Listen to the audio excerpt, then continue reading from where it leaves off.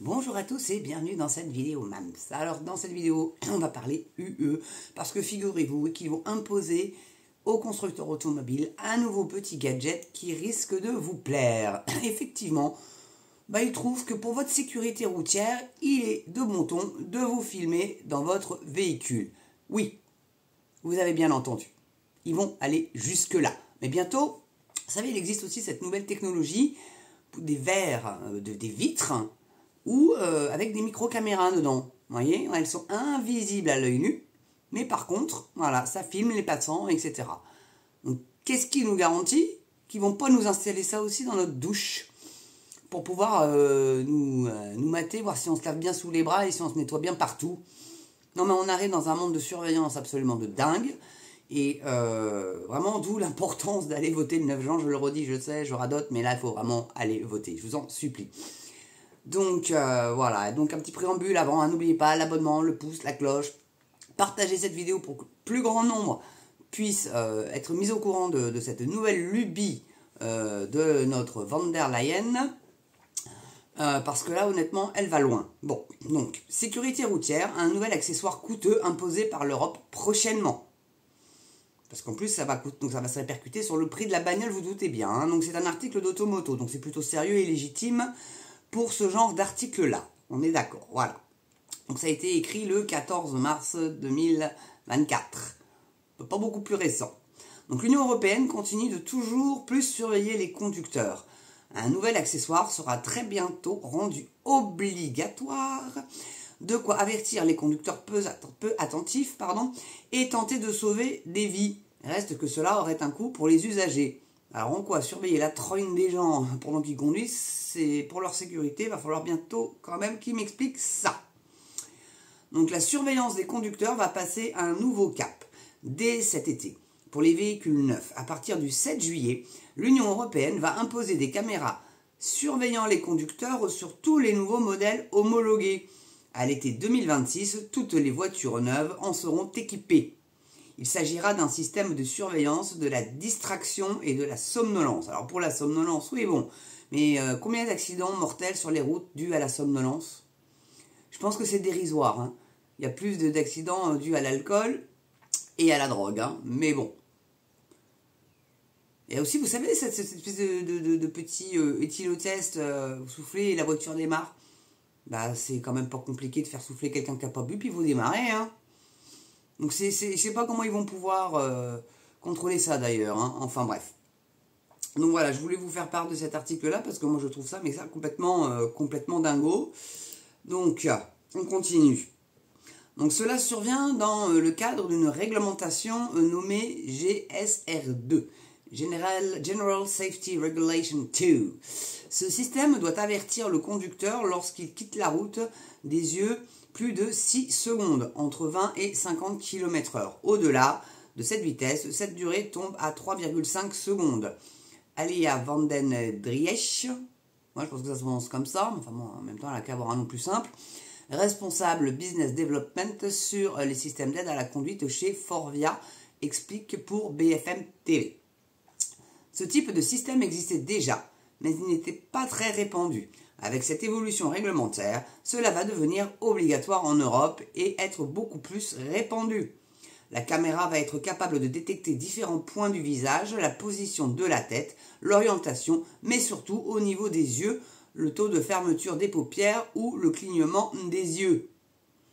Donc tu peux pas, euh, si jamais tu tournes la tête pour regarder euh, s'il n'y a pas une voiture qui arrive pour regarder ton rétro, est-ce que, euh, enfin je sais pas quoi comment ça va se passer réellement ce truc-là. ou même tu parles aux passagers à côté, tu vas tourner sans quitter trop trop la, route des yeux, bien évidemment, mais voilà quoi. Donc quel surcoût pour les conducteurs? Reste que cela aura évidemment un coût pour les constructeurs et pour les clients. Ce dernier est toutefois difficile à estimer. Les conducteurs passeront sans doute par l'installation d'une caméra infrarouge, puisque cela semble être la technologie la plus efficace. Les conducteurs tenteront euh, sans doute de s'en servir pour amener des fonctionnalités servant euh, les conducteurs. Alea Vanden Driesch évoque un système capable de proposer des musiques, ajuster l'ambiance intérieure ou envoyer régler la luminosité des écrans. Full contrôle. Full contrôle. Donc zéro décès sur les routes à l'horizon 2050. Ah, c'est avec ça qu'ils comptent arrêter euh, les gens qui se tuent sur les routes? Sans, déconner Excusez-moi, ils sont cons. Zéro décès sur les routes à l'horizon 2050 Mais mon Dieu, mais ils sont fous. Ça sera même juste impossible. Il y aura toujours des chauffards. Non mais, le mec qui s'endort pas, qui roule à 200 sur une voie à 90, qu'est-ce qu'il va faire le truc, le détecteur là? Rien. Et puis ça n'empêchera pas l'accident. Mais bon, bref, non mais sans déconner, mais ils sont cons. Donc rappelons que les premiers signes de somnolence multiplient par 3 ou 4 les risques d'accident. Cette nouvelle obligation vise à atteindre l'objectif 0 décès sur les routes de l'Union européenne d'ici 2050. Donc c'est pas qu'en France, c'est partout en Europe. Et eh bien bien du courage.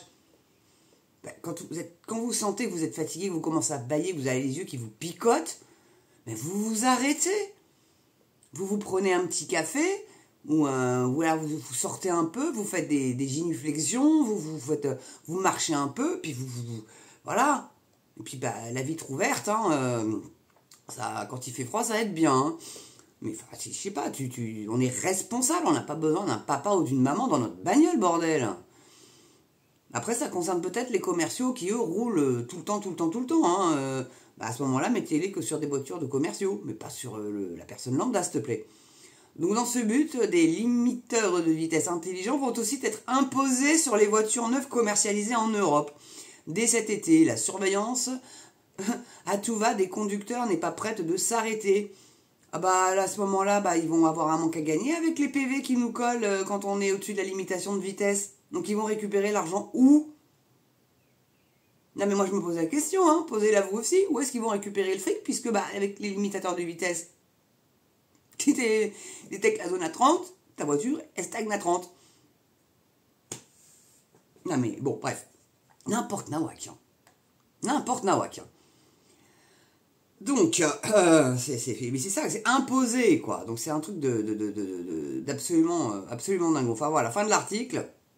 J'ai voulu vous en parler parce que réellement, moi, ça me fout, mais hors de moi, cette espèce de société de contrôle vers laquelle on va c'est juste pas possible quoi. Ah, et la pub qui se lance, je suis vraiment désolé, au secours.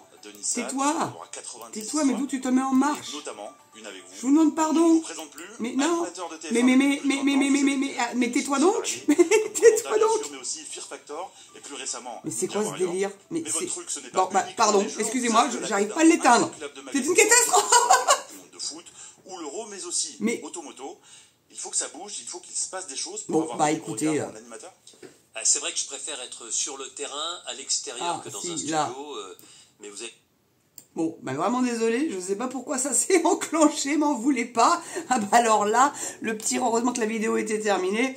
Oh, je suis désolé, je la refais pas, tant pis, ça fera un petit running gag à la fin de la vidéo sur même CV. Mais là, vraiment, bon, bah, grand, grandement désolé de, cette, ce petit couacounet.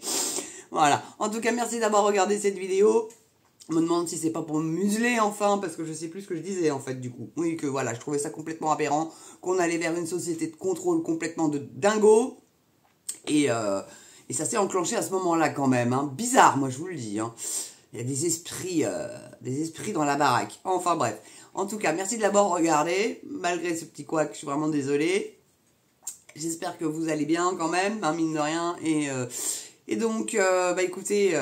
Je vous souhaite une belle journée ou une belle fin de journée selon l'heure à laquelle vous allez regarder cette vidéo. Surtout portez-vous bien, prenez soin de vous et moi je vous dis à très bientôt pour une prochaine vidéo MAMS en espérant que bah, des vidéos s'enclenchent pas comme ça sans mon consentement. Allez, à ciao sur MAMS